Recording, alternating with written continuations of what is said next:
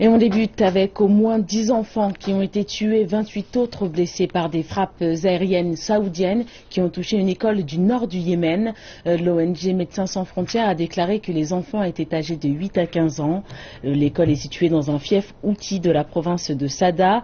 Euh, les avions de la coalition saoudienne ont procédé samedi à plus d'une centaine de frappes contre les cibles outistes dans plusieurs provinces du nord et notamment dans la capitale Sanaa.